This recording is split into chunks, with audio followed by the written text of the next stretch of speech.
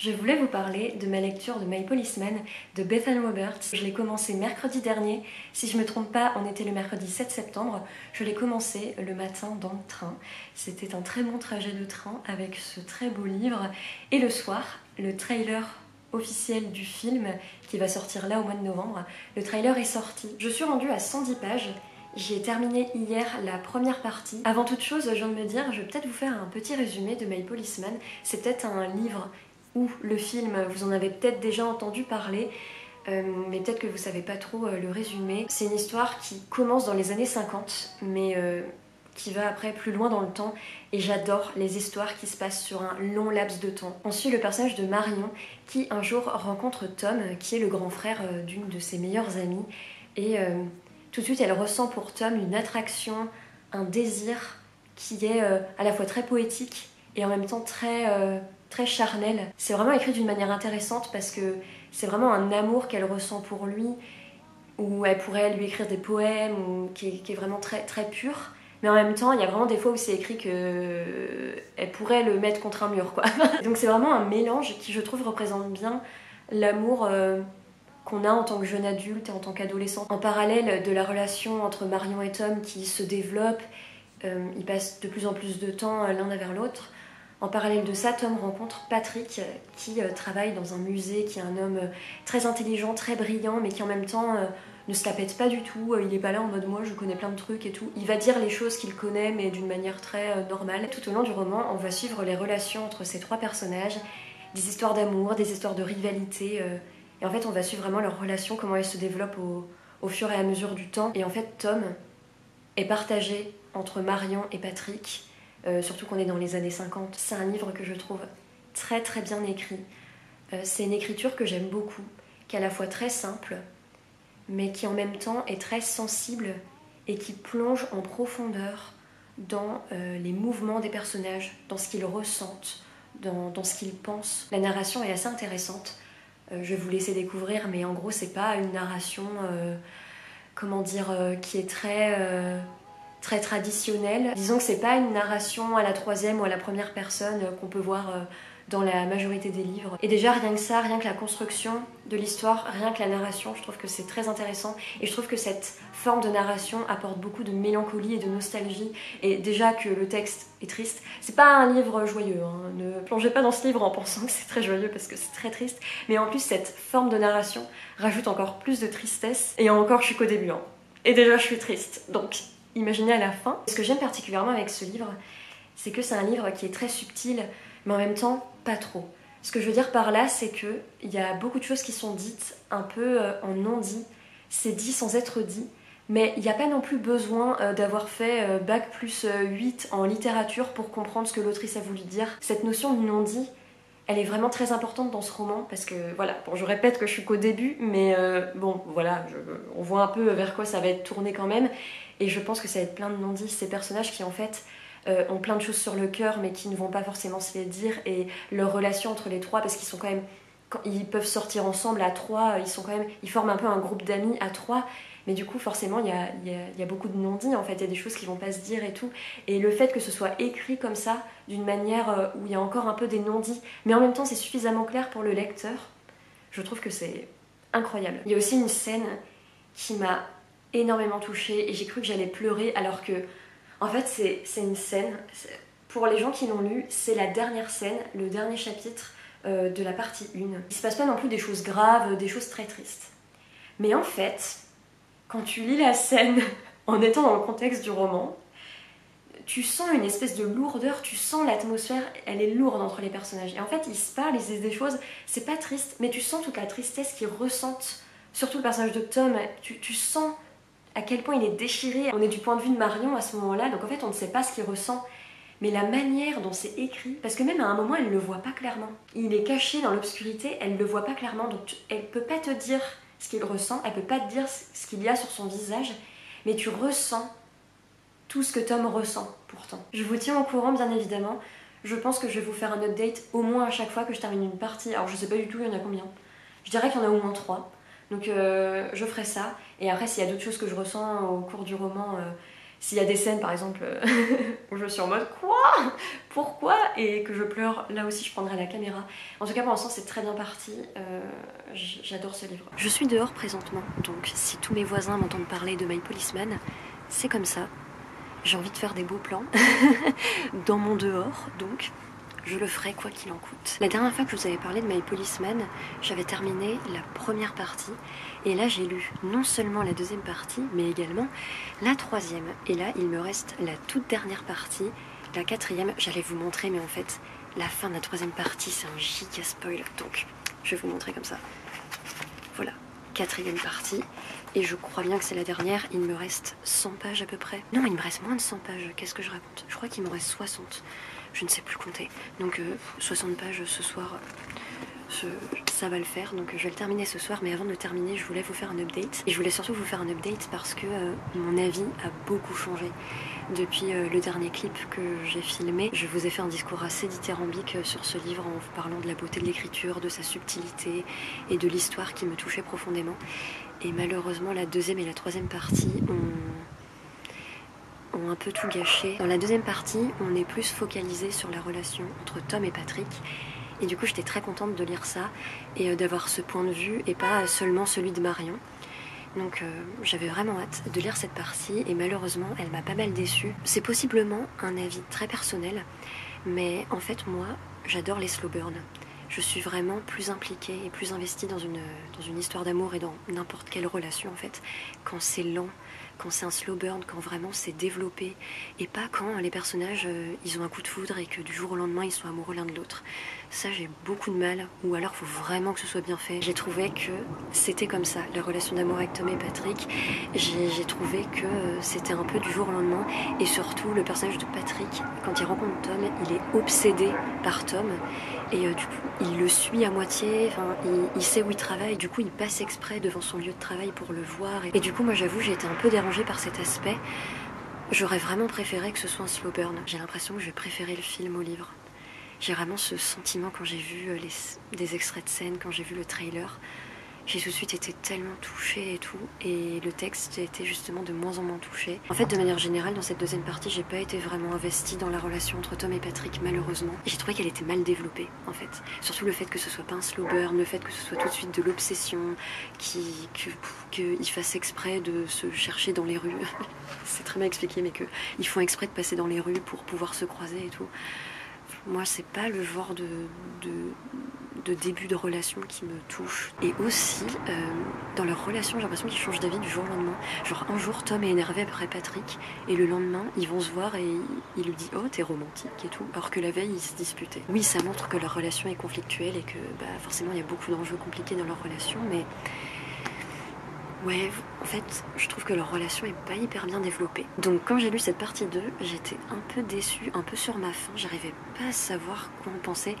Là même, j'ai du mal un peu à exprimer ce que je ressens parce que j'ai bien aimé quand même, mais il y a quand même toutes ces petites choses qui m'ont fait tiquer et qui surtout ont fait que j'ai pas été 100% investie. Et euh, dans la partie 3, je me suis dit, bon bah là, euh, voilà, là c'est un peu dans la partie 3 que l'histoire commence vraiment à 100%. Et la partie 3 aussi, ça a été un peu compliqué, c'est toujours très bien écrit d'ailleurs. Euh, ce livre, j'adore l'écriture de l'autrice. On plonge quand même dans l'intériorité des personnages. Donc c'est toujours très bien écrit et rien que pour ça je suis contente de découvrir ce livre. Là encore une fois j'ai été un peu déçue par cette partie 3 mais c'est possible que comme la partie 2 ce soit aussi par rapport à moi, par rapport à mes goûts etc. Je pense que je m'étais fait une image, une idée de ce livre par rapport à des trucs que j'avais vu passer. Enfin je peux pas trop vous en dire mais en fait, j'ai commencé le livre avec les images du trailer et aussi j'ai vu des gens qui avaient lu le livre qui en parlaient, sans aucun spoiler, mais qui disaient des trucs par rapport à l'ambiance du livre, par rapport à ce qu'ils avaient ressenti euh, en lisant le livre, etc. Et du coup, je pense que en lisant tout ça, je m'étais un peu fait une image du livre. Dans cette partie 3, le livre prend une direction qui m'a beaucoup déçue et que je trouve très bateau en fait. Je pense que ce livre aurait pu être tellement plus original et tellement plus touchant si d'autres choix avaient été faits. Mais là, l'histoire, je suis désolée, mais c'est très, c'est très cliché en fait, je trouve, et, et on s'y attend, c'est très prédictible. Je sais plus le terme en français, c'est très prévisible. Trop bilingue quoi. Quand j'ai commencé ce livre, je pensais vraiment qu'entre Tom, Patrick et Marion, Je pensais qu'il y aurait vraiment une relation de confiance et d'amour entre les trois. Pas d'amour amoureux, forcément, euh, entre Marion, Tom et Patrick, tu vois, mais une relation vraiment de confiance et d'alliés. Et en fait, je m'étais dit dans ma tête que que Marion, elle saurait pour Tom et Patrick et qu'elle dirait bon, bah écoute, on se marie, mais ok, on va voir ce qu'on peut faire et tout. En fait, je sais pas pourquoi, mais je m'étais trop dit que c'était ça ce livre et qu'on montrait quand même que bah voilà, il y avait quand même un peu de rivalité entre Marion et Patrick parce que c'est humain de ressentir ça, qu'il y aurait de la jalousie.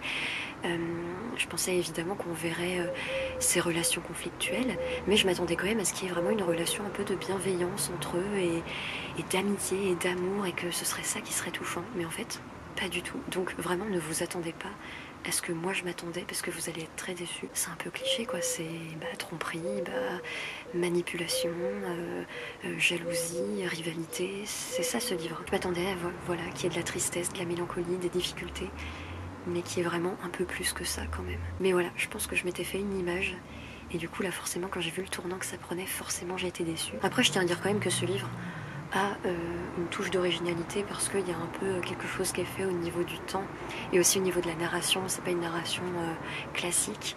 Donc ça, c'est des choses originales et qui, je trouve, apportent beaucoup au texte. Et moi, ça me, ça rend le texte d'autant plus mélancolique et nostalgique et, et ça rend l'écriture d'autant plus belle. Donc euh, je passe un très bon moment de lecture, mais c'est pas queer joy quoi. Il ne faut pas lire ce livre si vous voulez de la queer joy. D'ailleurs, purée, la fin de la partie 3, mais ça m'a je, suis, ça m'a dévasté vraiment. Donc là, il me reste ça. C'est très peu. Je compte le finir ce soir et euh, je vous ferai un update euh, quand j'aurai terminé et je vous donnerai mon avis général sur le livre. Donc, mais c'est un vlog qui est intéressant parce que je change d'avis. je fais comme Tom et Patrick, je change d'avis euh, toutes les deux secondes. Je rigole, j'extrapole un petit peu. Mais je pense aussi j'en ai juste marre des livres qui sont pas queer joy en fait. J'en ai juste trop marre de voir des gens queer malheureux en fait. Il y a ça qui joue aussi, je pense. Et là, je me suis juste dit, mais. Après, je me suis lancée dans ce je savais que c'était triste, mais en fait, je, savais que c'était triste et mélancolique, mais je pensais pas que ce serait horrible en fait. Il est grand temps que je vous fasse un update sur ma lecture de My Policeman que j'ai terminée. Et en fait, pour tout vous dire, ça fait pas mal de temps que je l'ai terminé, parce que je l'ai terminé mi-septembre, mi-fin septembre, et là, au moment où je vous parle, on est euh, début novembre. en fait, j'ai trouvé zéro temps pour euh, filmer euh, ce moment-là. Et je voulais avoir du recul aussi un peu sur le livre. Je voulais voir si, au bout d'un moment, je changeais un peu d'avis, ce qui n'est pas le cas. J'hésite à le vendre. Parce que, en fait, j'ai mis des post-it parce que il est quand même super bien écrit ce livre, je trouve. Et il y a quand même des phrases qui sont hyper belles, il y a des scènes qui sont bien. Donc il y a une partie de moi qui a envie de le garder, mais voilà, donc ça vous donne un petit peu une idée de ce que j'ai pensé de ce livre, parce que là je suis à deux doigts de le mettre sur Vinted. J'ai quand même envie de parler des points positifs de ce livre. Euh, déjà, je trouve que c'est un livre qui est très très bien écrit. J'adore l'écriture de Bethany Roberts. Je trouve qu'elle a une écriture très sensible qui plonge vraiment dans l'intériorité des personnages. Et pourtant, c'est une écriture voilà, qui, n'en fait pas trop, qui est assez simple, mais qui, qui est très juste et très sensible. Des fois, en une phrase, elle, voilà, il y a beaucoup de mélancolie en fait dans sa manière d'écrire et c'est une manière d'écrire que, j'aime beaucoup, qui me touche beaucoup. je suis vraiment passée de tout à tout avec ce livre parce que notamment bah, c'est ça qui est montré dans le vlog, c'est que au début quand je le lisais, je me disais mais ça va être un coup de cœur ce livre. C'est super beau, c'est super bien écrit, euh, l'intériorité de Marion est vraiment très bien explorée. Je me disais mais si ça continue comme ça, si l'histoire nous amène quelque part de pas mal, vraiment je vais adorer. Et puis il y a eu la suite. et surtout aussi, ce que j'aime beaucoup dans ce livre, c'est la construction de l'histoire. Euh, l'histoire a plusieurs points de vue, et surtout l'histoire est écrite euh, avec différents supports. Franchement, la forme de l'histoire, j'aime beaucoup. Le problème avec moi, c'est le fond de l'histoire. Là, c'est le moment où les problèmes commencent. Qu'est-ce que je n'ai pas aimé dans My Policeman? Beaucoup de choses. Euh, en me lançant dans l'histoire, je pensais que Tom, Patrick et Marion auraient une relation assez bienveillante et bien sûr je me doutais qu'il y aurait un petit peu des moments de, jalousie, des moments de dispute, mais je pensais vraiment qu'il y aurait vraiment de la bienveillance et de la compréhension et, et une alliance en fait entre les trois personnages. Ah oui c'est vrai, j'ai lu quelqu'un dire un truc, mais vraiment mais je ne comprends pas cette personne. Il y a quelqu'un sur Twitter qui a dit que on pouvait considérer que Tom était amoureux de Marion et Marion elle était aussi un peu amoureuse de Patrick, ce qui faisait qu'en fait tous les trois ils avaient une relation où ils s'aimaient tous un peu tous les trois. On n'a pas lu du tout le même livre. Ou alors j'ai pas compris, hein. mais Tom n'est pas du tout amoureux de Marion. Genre vraiment, il la, il, il la déteste, Marion. Enfin, je sais pas s'il a, il, a une forme de tendresse pour elle au début, mais Tom n'aime pas Marion et Marion n'est pas, n'a pas non plus d'amour pour Patrick. Elle a une tendresse pour lui, oui, mais elle, n'aime pas Patrick. Enfin, je... Et moi, en fait, j'ai lu ça et je me suis dit, oh, trop bien, ça va être une histoire où tous les trois, ben, ils vont se soutenir et tout. Mais pas du tout. Et en fait, justement, ça, ça amène à ce que je n'ai pas aimé dans ce livre, parce que c'est un livre très, très négatif. Ce livre, c'est que de la souffrance, c'est que des non-dits, c'est que de la manipulation, c'est que de la jalousie, c'est que des, des mensonges, c'est de la tromperie. Il y avait des scènes quand même qui étaient bien, mais moi, je me suis pas attachée au personnage en fait c'est peut-être que moi le problème, tu vois, je ne dis pas. Bien évidemment, euh, moi je veux pas que des personnages qui soient parfaits, tu vois, je dis pas ça. Mais là en fait c'est ça tout le temps, c'est que de la négativité tout le temps. Et ils sont vraiment horribles en fait, les uns vers les autres. Même Tom et Patrick, je trouve qu'ils ont pas une relation si belle que ça. Et notamment par rapport à la négativité, dans ce livre, les personnes queer euh, subissent maltraitance sur maltraitance, souffrance sur souffrance, et moi je n'en peux plus en fait. Je n'en peux plus de lire des livres où euh, la communauté LGBTQI+, s'en prend plein la gueule. J'en ai marre que les personnes queer s'en prennent plein la gueule tout le temps. Dans ce livre, c'est ça, du début à la fin. Il y a aussi un truc qui fait que forcément ce livre m'a saoulée. Euh, je sais pas si vous connaissez le film Atonement, qui est un livre aussi également. Atonement, Reviens-moi en français. J'ai pas lu le livre, mais j'ai vu le film. Et euh, tout le monde n'en disait que du bien. Et en fait, ce film, je l'ai détesté. En gros, l'histoire, c'est une histoire d'injustice, en fait. C'est une histoire de où en gros il y a une accusation à tort. Et après la personne fait tout pour essayer d'arranger les choses, mais mais n'arrange rien en fait. Parce que bref, ce film m'a saoulé. Moi c'est exactement tout ce que je déteste ce film. Dans My Policeman, il y a un peu une histoire comme ça en fait, une histoire de d'accusation et d'injustice et de et après la personne est montrée comme étant oh mais oh vraiment je m'en veux, regardez j'essaie d'arranger les choses, mais casse-toi en fait, vraiment moi je peux pas. Vraiment, moi, c'est ça me, ça me fait sortir de mes gonds. Euh, donc, si vous avez pas aimé Atonement, euh, reviens-moi euh, pour les mêmes raisons que moi, lisez pas ce livre parce que ça va vous saouler. Et c'est même encore pire dans ce livre. Parce que dans Atonement, c'est une petite fille, tu vois. Donc, tu peux, tu peux te dire, bon, elle était enfant, elle savait pas trop ce qu'elle faisait et tout. Dans My Policeman, c'est pas ça, tu vois. Mon autre souci, c'est ça aussi, Marion. Alors, Marion, c'est un personnage que je trouve intéressant quand même, et notamment dans la première partie, mais j'étais trop fan. Je, disais pas que j'étais fan de Marion, mais j'étais fan de, son point de vue. J'aimais beaucoup, je trouvais qu'elle apportait plein de choses intéressantes. Et puis euh, voilà, elle fait quelque chose, bon, euh, passons, on va pas spoiler. Ça me saoule Mon problème avec Marion, c'est que, à la fin, elle est montrée comme une sauveuse. Et notamment à la fin, c'est son point de vue. À la fin, c'est elle, les dernières phrases, c'est sur elle mais l'histoire de My Policeman, ce n'est pas l'histoire de Marion. Bien sûr que My Policeman, il y a une part de l'histoire de Marion et que Marion est importante dans cette histoire et que Marion a un enjeu dans cette histoire et tout. Mais terminer là-dessus, j'ai trouvé que c'était une violence en plus, tu vois, dans le bouquin. Par contre, j'attends avec énormément d'impatience le film qui va sortir sur Amazon Prime euh, le 4 novembre, un film de Michael Grandage. J'attends vraiment de voir ce que ça va donner parce que je me dis qu'il y a peut-être des scènes, des enjeux qui vont changer par rapport au livre. Il y a peut-être des directions qui vont être prises autrement. Alors après, je sais que la base du livre sera la même, ils vont pas tout changer, malheureusement pour moi, mais, euh, mais voilà, je me dis qu'il y a peut-être des scènes qui vont changer. Et puis surtout, le réalisateur est un homme queer lui-même, donc je me dis, ça c'est intéressant, tu vois, ça, avoir son point de vue sur certaines scènes, peut-être que la manière de réaliser, peut-être que les, les dialogues, tu vois, ça va être écrit autrement. C'est possible que j'aime plus le film que j'ai aimé le livre, parce que le livre, je l'ai pas aimé en fait. Euh, alors que c'est possible que j'aime le film, tu vois, et euh, j'ai vraiment confiance dans le réalisateur, dans les acteurs. Bon, ça y est, this is it. J'ai mon ordinateur, mon casque.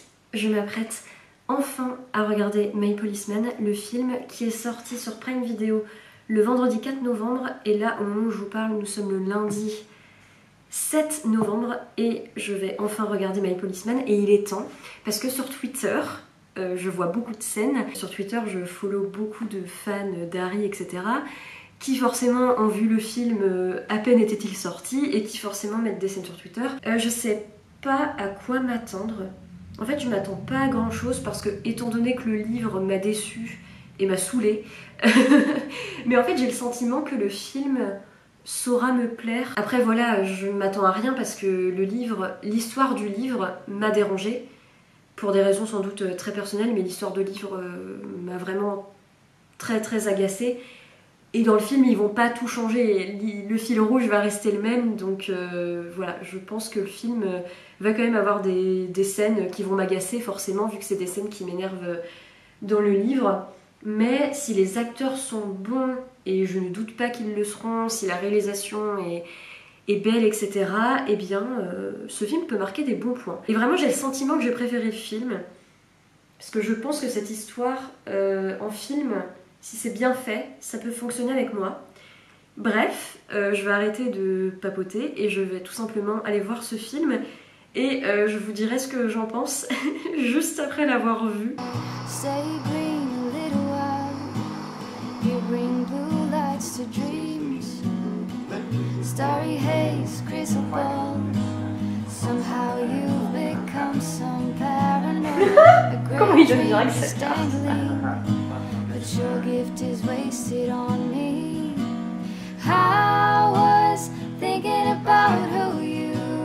Chose promis, chose due, je reviens vers vous après avoir vu le film My Policeman. Alors, euh, My Policeman, le film réalisé par Michael Grandage avec Harry Styles, Emma Corrin et David Dawson. J'ai passé un bon moment en le regardant, tu vois, je me suis pas ennuyée, euh, je trouvais que c'était intéressant. Et en vrai d'ailleurs, je pense que je reverrai ce film, probablement par rapport aux acteurs, parce que j'aime énormément les acteurs et je trouve qu'ils ont une très bonne alchimie. Euh, Harry, euh, Emma et David, et je parle d'eux comme si j'étais leur pote, mais ce n'est malheureusement pas le cas. Je trouve qu'ils ont une bonne alchimie et il y a des scènes du film que j'ai bien aimé, donc je pense que je le reverrai. Puis voilà, c'est un film avec Harry Styles, donc si vous me connaissez, vous savez que j'ai un faible pour les plans miroirs. J'adore prendre des photos dans des miroirs ou dans des surfaces euh, qui reflètent. Je prends tout le temps des photos là-dedans. C'est même pas en mode euh, selfie, genre je veux me prendre en photo, c'est vraiment je veux une photo dans un miroir en fait. Et dans les films, j'adore les plans miroirs, les plans où tu vois les personnages dans un miroir et tout. Et dans ce film, il y a genre six plans miroirs, il y en a plein, ça ne s'arrêtait pas. Je sais pas ce qu'il a fait, mais avec Grande je pense qu'il est comme moi, il aime les plans miroirs. T'as un plan au moment où t'as Harry qui est, euh, pardon, Tom qui est assis sur son lit, enfin sur un lit, et le plan est, de, dos à lui. Sauf qu'il y a un miroir en face et du coup tu vois son visage alors qu'il est de dos. Et ce plan, j'ai trouvé que comme la caméra est du point de vue de Marion, mais Marion, tu la vois assise en fait. La caméra ne prend pas la place de Marion. Tu vois Marion qui est assise et en fait j'ai l'impression que Marion, elle, ne voit que le dos de Tom, donc elle ne voit pas ce qu'il y a sur son visage. Par contre, nous, les téléspectateurs, enfin les spectateurs, je sais pas comment on dit, on voit le vrai visage de Tom parce qu'on voit le miroir. Sinon, à part ça, euh, malheureusement, le film ne m'a pas vraiment plu et ne m'a pas vraiment touché. C'est même difficile à dire, j'arrive même pas à dire si je l'ai préféré au livre. Ce qui est très étrange, c'est que tout au long du film, je disais ah non mais dans les livres ça se passe comme ça. Genre je défendais le livre alors que vraiment j'ai pas aimé le livre. Mais vraiment le film a encore moins développé les personnages que dans le livre. Parce que c'est vrai que le livre, c'est un truc qu'on peut pas lui enlever. Je trouve que c'est quand même plutôt bien développé, en tout cas les pensées des personnages, etc. Même s'il manquait le point de vue de Tom, même si on peut lui reprocher plein de choses à ce livre sans souci. J'ai pas trop aimé ce qu'ils ont fait de Tom dans le film. Bien sûr, ce que je m'apprête à vous dire, c'est rien de, de, spoilant ou quoi que ce soit. Déjà, notamment, ce que j'ai pas trop apprécié dans le film, c'est que j'ai l'impression que c'était une accumulation de scènes. C'était plein de petites scènes collées les unes aux autres. Il y a aucune scène qui est vraiment longue et qui prend son temps. Et je trouve que ça me manque. Moi, je trouve ça important euh, qu'il y ait des scènes comme ça, parce que c'est comme ça que ça se passe dans la vraie vie. Il y a les discussions, elles, durent, elles prennent du temps. Quand tu n'arrives pas à communiquer avec quelqu'un, bah, tu prends ton temps, tu essaies d'expliquer. Tu... Enfin, les scènes de dispute, ça prend du temps dans la vie. La musique aussi, ça m'a un petit peu. Ça m'a pas dérangé, mais euh, je trouve que les musiques sont pas super bien choisies. Et des fois, il y avait des musiques à des moments, je me suis dit, mais là, ça devrait pas être une musique comme ça. Enfin, après, s'il y a une explication de, de, la personne qui a choisi les musiques. Euh, et qu'il y a des raisons derrière. Parce que notamment à un moment, il y a une musique sur une scène, je me suis dit, mais pourquoi ils ont choisi cette musique Mais en fait, en regardant la scène, je me suis dit, ah en fait, il y a un contraste entre ce qui se passe dans la scène et la musique. Donc c'est peut-être pour montrer la musique, euh, les rêveries de Marion, etc. Et la scène qui se passe qui est assez euh, brute de décoffrage et voilà. Et pas très romantique justement. Je trouvais que les scènes étaient très rapides et les scènes de dialogue étaient trop rapides et et moi, j'avais toujours un manque avec euh, les scènes de dialogue parce que je me disais, ah mais là, j'aurais aimé que la scène dure même juste deux minutes de plus. Tu vois, en deux minutes, tu peux dire plein de choses. Et tu vois, deux minutes, c'est pas grand chose. Et si le film, euh, franchement, le film, euh, j'aurais bien aimé qu'il dure un peu plus de temps. Parce que j'aurais bien aimé que, les dialogues durent plus longtemps. Tu vois, ma déception, ça montre que je m'attendais à quelque chose et que. Et, et, voilà, comme Harry, comme les, comme les acteurs sont très fiers de ce film, je voulais vraiment que ce soit un très très bon film et moi il m'a vraiment manqué quelque chose en fait. Et aussi j'étais un peu déçue par euh, les personnages qui me manquaient, notamment euh, la sœur de Tom. À chaque fois je veux dire Harry, c'est horrible. la sœur de Tom, elle apparaît vite fait au début, mais après on ne la revoit pas. Alors que franchement dans le livre, je trouve qu'elle a quand même une importance parce que elle a des dialogues avec Marion qui entraînent des choses après. Et quand Marion apprend pour Tom et Patrick, euh, je trouve que dans le film ça va hyper vite, alors que dans le livre il y a plein de choses qui font qu'elle comprend les choses au fur et à mesure. Dans le film, euh, elle voit un truc vite fait et oh ça y est, elle comprend tout. je sais pas, moi ça m'a ça m'a un peu manqué. Et ouais, je comprends pas pourquoi la sœur. Il y a une actrice qui été engagée pour jouer Sylvie. Elle apparaît deux secondes au début et après on ne la revoit pas. Genre tout le monde se fout d'elle. Même Julia, qui est un personnage qui est très important aussi, je trouve, dans le livre, enfin très, qui, a une importance certaine dans le livre, je trouve. Elle a peut-être deux scènes, donc c'est des scènes bien de dialogue qui sont bien, qui amènent des choses, mais pareil. Euh. Et euh, la mère de Patrick, elle est pas dans le film, et je peux comprendre parce que c'est pas le personnage qui apporte beaucoup beaucoup de choses dans le livre, mais je trouve quand même que c'est un personnage moi que j'aimais bien et surtout qui montre que Patrick n'était pas seul au monde. Parce que le livre en fait il est trop queer euh, je sais pas comment dire, mais queer, euh, queer euh, souffrance quoi.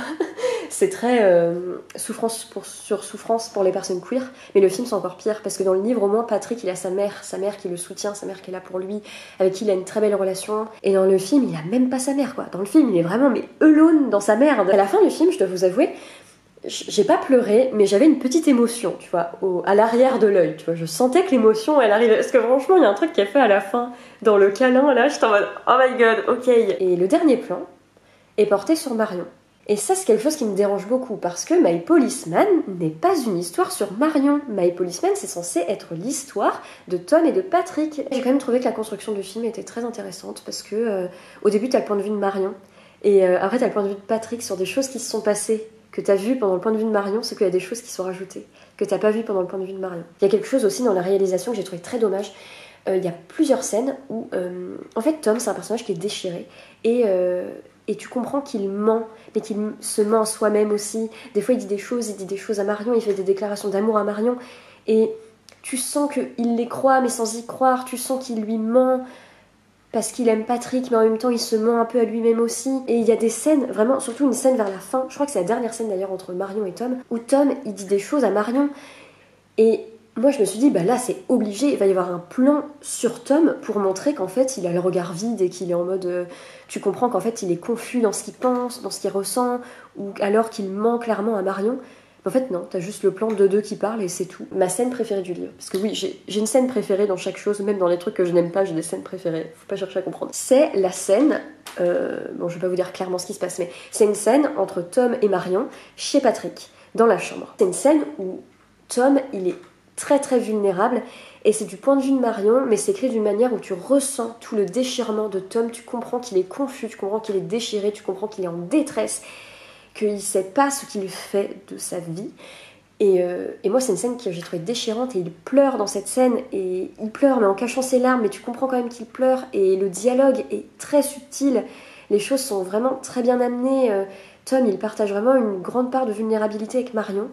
Et dans le film, euh, il y a le moment qui arrive, donc moi je suis en mode oh ça y est, c'est la scène que j'aime trop dans le livre. Et la scène arrive et il se passe rien de ce que j'ai tant aimé dans cette scène dans le livre en fait. C'est juste Marion et, Tom qui parlent, mais Tom il parle limite en souriant et, et tu te rends pas compte de tout le déchirement qu'il a, alors que dans le livre tu le ressens quoi. Et Marion, même à ce moment-là, elle se dit il y a un truc qui est pas net.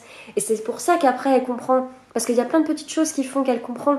Parce que dès le début, elle sent, même dans les déclarations d'amour de Tom, elle sent qu'il y a un truc qui va pas. Alors que dans le film, bah tu sens pas en fait, parce que Tom ment très bien. Tom, il sourit, il dit les choses à Marion, t'as pas de plan caméra sur lui pour montrer qu'il est en mode merde, euh, j'ai menti. Par rapport à Harry, euh, parce que voilà, je, parle plus précisément d'Harry parce que c'est une personne dont je suis fan depuis 10 ans maintenant. Ça fait 10 ans que j'aime cette personne. Et le voir dans ce film que vraiment il a porté de tout son être et vraiment il a tout donné pour être dans ce film. Ça m'a vraiment touché de le voir dans ce film et vraiment tu sens à quel point il aime ce film et, à quel point il a aimé jouer dans ce film. Et il joue bien dans ce film, mais c'est vrai que je m'attendais à plus. J'ai l'impression qu'il y avait encore une retenue chez lui, tu vois. Et ça m'a un peu rendu triste parce que je me suis dit, mais si même dans ce film où il peut vraiment se montrer à son point le plus vulnérable, vu qu'il a tout fait pour être dans ce film, même là je sens qu'il y a une retenue, tu vois. Et euh, après, tu sens que Harry, voilà, il a pas eu. Euh, ça fait pas. il a joué dans trois films dans sa vie. Je pense que dans dix ans, tout de suite, tu te diras qu'il jouera mieux. Parce que Harry, je trouve que. Voilà, les gens euh, ont des critiques à faire sur Harry, qu'il les. Moi, je trouve qu'il joue bien. Mais pour moi, sa meilleure performance, pour moi, c'est dans Dunkerque de Christopher Nolan, qui est son premier film. Dans ce film, vraiment, il m'a époustouflé. Vraiment, il y a une scène où il s'énerve. Je me souviens, j'étais au cinéma sur mon siège, j'étais Harry, frérot, tu ne m'avais pas habitué à ça. C'est mon avis à chaud sur le film, mais je pense que je le reverrai. Dans tous les cas, je vous recommande le film parce que je trouve que le film, le film m'a moins énervé que le livre quand même.